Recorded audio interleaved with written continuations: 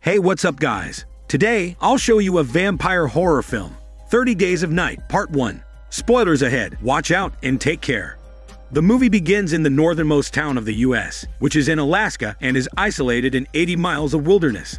This town is cut off every winter for 30 days of night, and then we see a shady man named Shady watching a ship sailing away in the snowy background. He walks for a bit, but doesn't seem to have any destination, as he's in the middle of nowhere. After a while, Shady finally comes across the town and plans something shady. It's the last day of the sun, and we see a cop named Eben and his cop partner checking out a pile of burnt cell phones. This is a bit confusing for the cops because there's no motive for doing so, but then they decide to soak in the sunset. Eben is a bit distracted, even as his partner talks about how romantic it is to see the sunset with a hormone partner.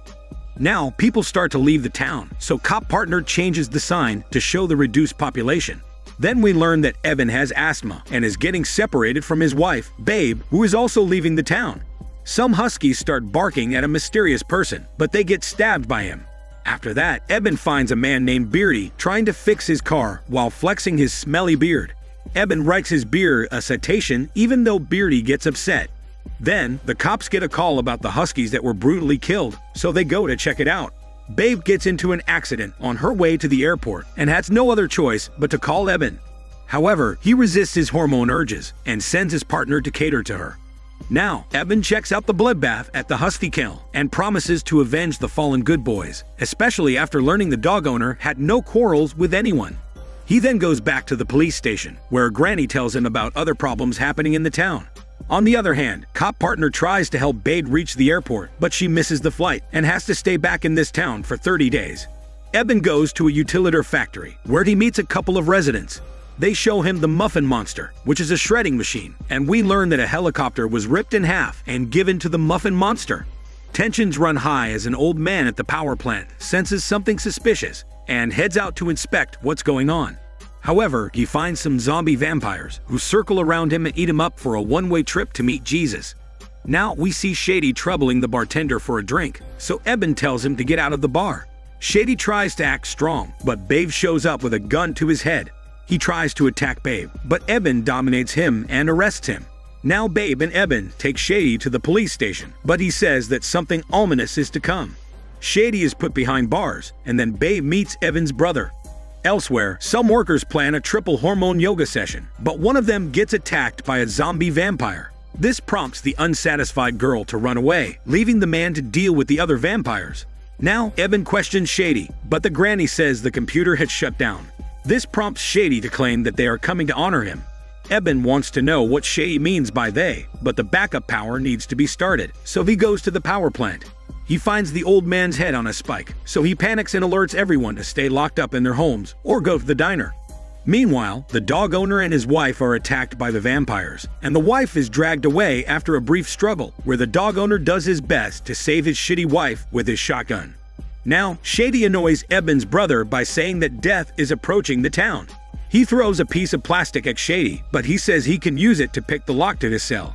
The man gets tricked, so he goes to get the plastic, but Shady grabs him by his chick neck. Luckily, Eben arrives and shoots Shady, after which he cuffs him. Shady says that Eben is a dead man and doesn't answer any questions he asks him. Eben and Babe try to round up the other cops, but they come across a vampire who attacks their car with rage. Eben manages to shoot the vampire, but it's of no use. So Babe shakes him off and drives away. The town is in chaos, and then the granny radios for help in a chicken voice, but it's in vain. Eben and Babe go back to the police station, but find blood everywhere, although Shady is still alive. He is upset that the vampires didn't take him away and asks Eben to shoot him. Babe stops Eben from making this mistake, and then we see the leader of the zombie vampires named Alpha, who instructs his vampires on how to increase their army. The survivors of the onslaught talk about how these vampires are resistant to bullets with their bulletproof muscles, and they need to come up with a plan of action. Afterward, Alpha and his vampires turn other residents into vampires and carry out a brutal attack on the town. There is absolute chaos everywhere as diabetic blood is spilled and human guts and smelly parts are eaten. The humans try to use their guns and bullets, but it's of no use as they are dominated and subjugated. Babe and Eben manage to reach the other survivors, who also include Eben's brother. They figure out that they need to go to the Utilidor factory and decide to lay out some bear traps outside to slow down the vampires. However, they are attacked by Alpha and the vampires, who manage to turn over their car and attack them. Things aren't looking good for them, but Beardy comes to the rescue in his Tesla truck. This allows Babe and Eben to escape with Beardy, while Alpha looks at them with murderous intent. Beardy wants to know what's going on, but Eben and Babe don't have an answer for him. They go back to the survivor shelter, but can't find anyone there. Luckily, everyone is hiding in the attic, so the three join them. They worry about how they're going to defeat the zombie vampires. But Eben says they have an advantage because they know the town and the cold. Meanwhile, Alpha meets Shady and thanks him for all he's done for the vampires. This hints at the fact that Shady might have burnt the cell phones intentionally to prevent communication with the outside world, and he might have also killed the annoying dogs, because they are sled dogs which can be used for transportation. Despite this, Alpha attacks Shady, presumably sending him to meet Jesus as a reward for what he had done. The vampires start running through homes, and it causes the survivors to panic like scared chickens. The only way out is the Utilidor factory, where they can last for a month. However, there are arguments and fights erupting due to panic, and Eben has to maintain his calm because the group needs to focus on survival. It's day 7, and we see a smelly girl walking outside, begging for help. The survivors want to help her, but Eben realizes that she's being used as bait to lure them out. Now, Alpha and his vampires confront the girl, and she apologizes for not luring out any of the sensitive survivors, possibly because she's not sexy enough, but only smelly. She begs the zombie boss for some zombie mercy, but Alpha curses her, saying that he's not a zombie, but a vampire. A disturbing scene follows as the vampires torture the girl before ending her smelly life. We see Eben outside, trying to get to her. He fails to save the girl, but then he finds the dog owner, who's still at the same place where he lost his wife.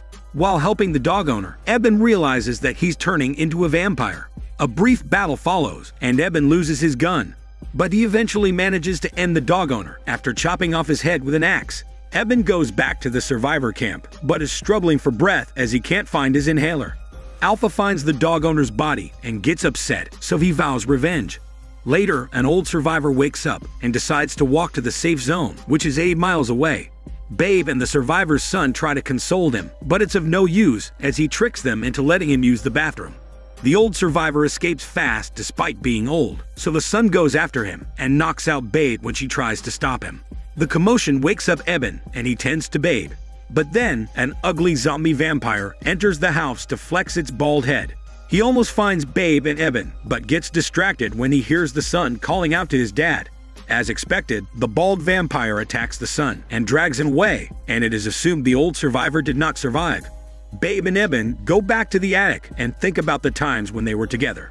However, their hormone memories are interrupted when some vampires run over their roofs. It begins to snow, so the coast is clear, and the survivors decide to make a supply run. They enter a grocery store and stock up on food and medicine, but they get distracted when they hear some munching noises.